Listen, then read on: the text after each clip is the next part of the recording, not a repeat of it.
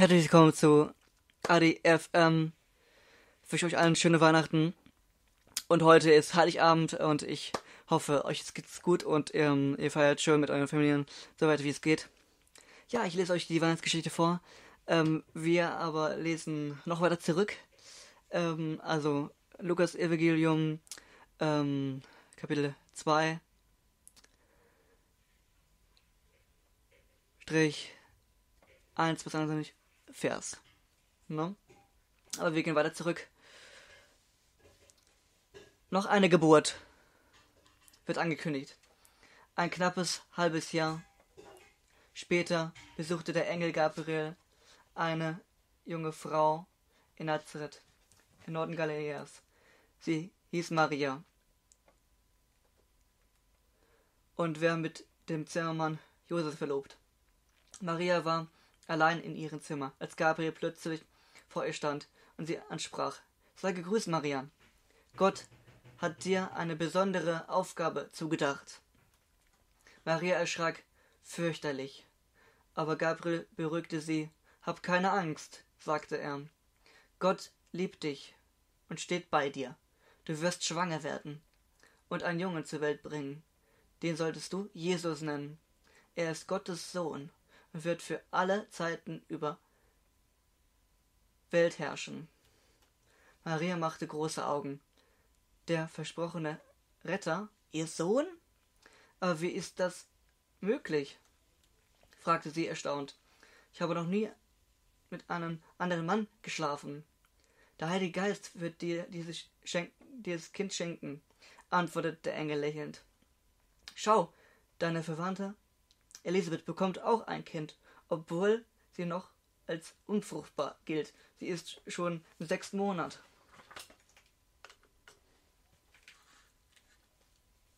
Gott kann alles möglich machen. Maria kam aus den Staunen nicht mehr heraus. Elisabeth war eine alte Frau, viel älter, viel zu alt, um noch ein Kind zu kriegen. Wenn das stimmt. Maria senkte den Kopf. Ich liebe Gott, sagte sie.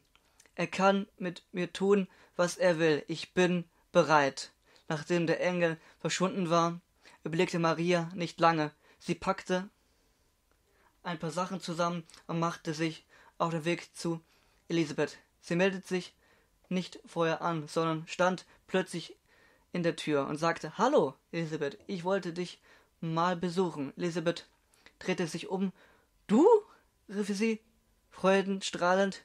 Du wirst die Mutter des versprochenen Retters und du besuchst mich?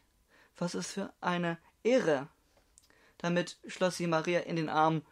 Möchtest du wissen, woher ich das weiß? fragte sie dann. Mein Kind schlüpft, schlüpft in meinem, hüpft in meinem Bauch, als es deinen Gruß hörte.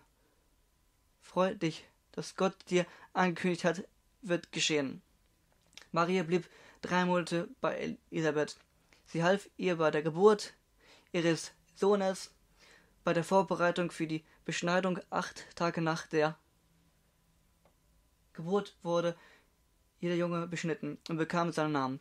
Das wurde groß gefeiert. Natürlich wird der Zacharias heißen, meinte, meinten alle, denn das war üblich, ein erstgeborener Sohn nach dem Vater oder Großvater zu benennen. Aber Elisabeth schüttelte den Kopf. Nein, er wird Johannes heißen, erklärte sie. Warum denn? fragte die Leute. Keiner aus unserer Firma heißt Johannes. Nein, nein, Zacharia soll entscheiden. Zacharia konnte immer noch nicht widersprechen. Deshalb hieß er, hieß er sich Schreibtafeln bringen. Darauf schrieb er seinen Namen. Schrieb er. Sein Name ist Johannes. Im gleichen Augenblick konnte er wieder sprechen. Überglücklich lobte er Gott und dankte ihm. Dann beugt er sich über seinen Sohn, weiß, sagte, du, mein Junge, du wirst Bote Gottes sein. Du wirst dem Volk Gott, den Retter, ankündigen und alles für ihn vorbereiten. Du wirst Menschen sagen, dass Gott sie liebt, immer ihre Schuld vergeben und ihren Frieden schenken willst. Will. Wieder daheim nach der Beschneidungsfeier machte Maria sich wieder auf den Heimweg. Sie freute sich sehr darauf, ihren Verlobten Josef wieder zu sehen und ihm als zu erzählen, was geschehen war. Aber bestimmt machte sie sich auch Sorgen, wie er, wie er die Nachricht von ihrer Schwangerschaft aufnehmen würde. Josef hörte aufmerksam zu, als sie, als sie von Elisabeth und ihrem Sohn erzählte. Als sie aber von dem Engel sprach, der sie besucht hatte, sagte in einer halben, werde ich auch einen Sohn bekommen. Wer entsetzt war entsetzt. Du hast mich mit einem anderen Mann betrogen, fragte er. Aber nein, antwortete Maria, Gott hat mir dieses Kind geschenkt. Ich habe dich nie betrogen. Josef sah sie zweifelnd an. Das sollte er glauben, diese seltsame Geschichten, die nie und nie, nie und nimmer konnte dieses wahr sein. Todtraurig und enttäuscht ging er schließlich schlafen. Warum nun hatte Marie das angetan? Er liebte sie, so sehr. Warum belog sie ihm? Warum versuchte sie für dumm zu verkaufen?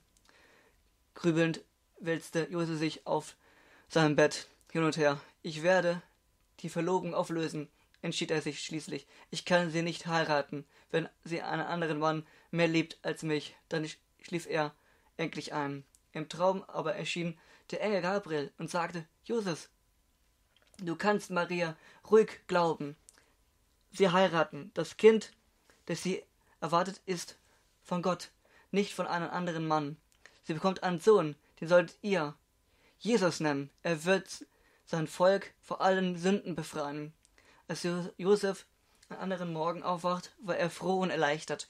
Maria ihm nicht belogen, betrogen. Er konnte sie heiraten und das tat er dann auch.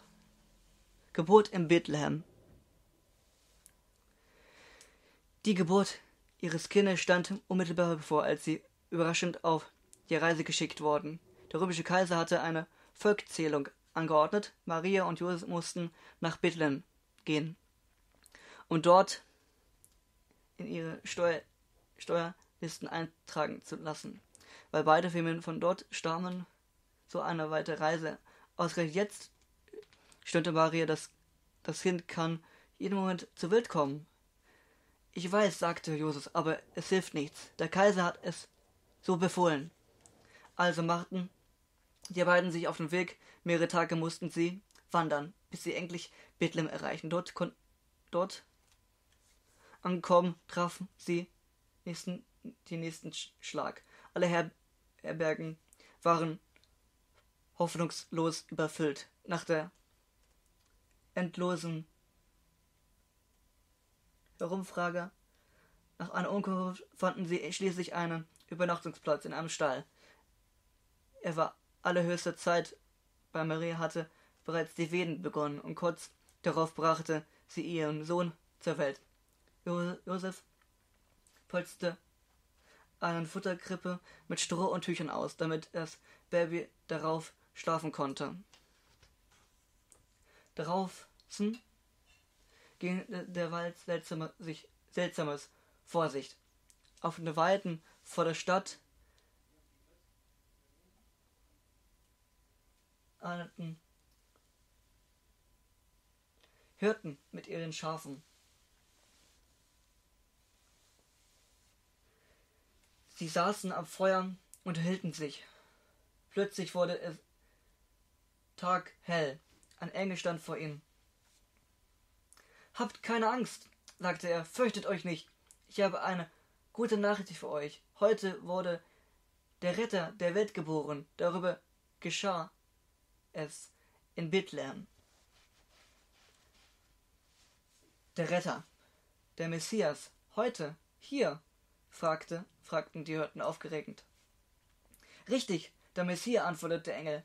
Geht hin und schaut nach. Das Kind liegt in Willen gewickelt in einer Krippe, in einer Futterkrippe. Sofort sprangen die, Eng die Hirten auf und in einer Futterkrippe, dann muss es in einem Stall geboren sein. Sie wollten loslaufen, aber plötzlich war der nicht mehr nur ein Engel, sondern viele, und sie sangen, Ehre sei Gott in Himmel und Himmel und Frieden den Menschen, denn er liebte sie. Staunend lauschten die hörten den Gesangen, dann rannten sie los. Schnell fanden sie den Stall, in dem Maria und Josef ihr Baby schlief. Wir möchten das Kind gerne sehen, erklärten sie. Ein Engel hat uns davon erzählt, dass es der versprochene Retter, der Messias. Am nächsten Morgen wusste schon fast die ganz Bethlehem Bescheid, denn die Hirten behielten nicht für sich, was der Engel ihnen gesagt hatte. Jeder er erzählten sie voller Freude, was sie danach erlebt hatten, obwohl man ihn ob, obwohl man ihn glaub, glaubt oder nicht, war, war ihm war ihm ganz egal. Der Retter ist da. Etwa sechs Wochen später reist Maria und Josef mit ihrem Kind nach Jerusalem. Das Gesetz schrieb vor, dass jeder das Geborene. Ja, das war eigentlich noch eine andere Geschichte.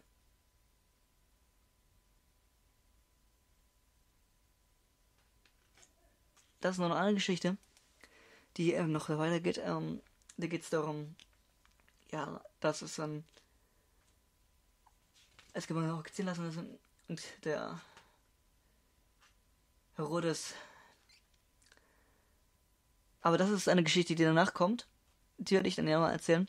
Ich ja, hoffe, die hat euch soweit gefallen. Ich hoffe, wenn ich doch nicht so schnell gesprochen habe. Ich hoffe, es war verständlich.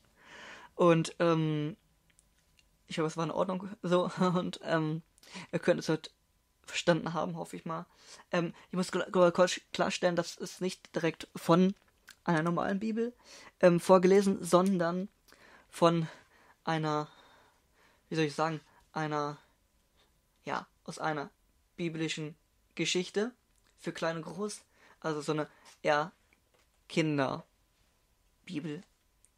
Ist auf einfache, ein bisschen einfacher gefasst, nicht ganz Text, Text ähm, gleich ist wie jetzt im, im Neuen Testament bei Lukas Kapitel 2, ähm, 21, 1 bis 21.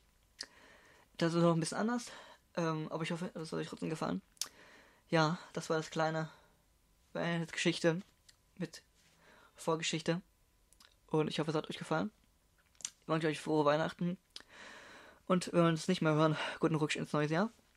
Und ähm, bleibt gesund, das ist die Hauptsache. Und ähm, ja, we wish you a Merry Christmas. Happy New Year. Ne? Und genau. Seid gesegnet. Gott hat euch lieb und begleitet euch auf euren Wegen. Und genau. Ich hoffe, ihr passt euch auf euch gut auf und genau. Vielleicht kann ich gleich noch ein bisschen Weihnachtsding machen. Ohne Melodie leider. Kann ich leider nicht klar machen. Das will ich machen. Darum wünsche ich euch einfach vor Weihnachten alles Gute. Ähm, also nicht wundern, die Geschichte stammt aus biblischen, biblischen Geschichten, für klein und groß.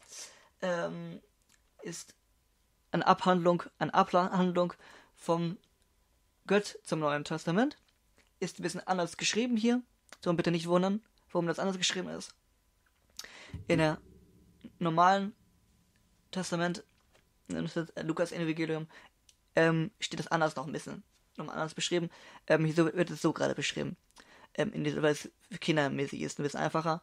Ich hoffe, da seid ihr mit einverstanden und ja, dann alles Gute Auf Wiedersehen, euer ADFM. Ciao.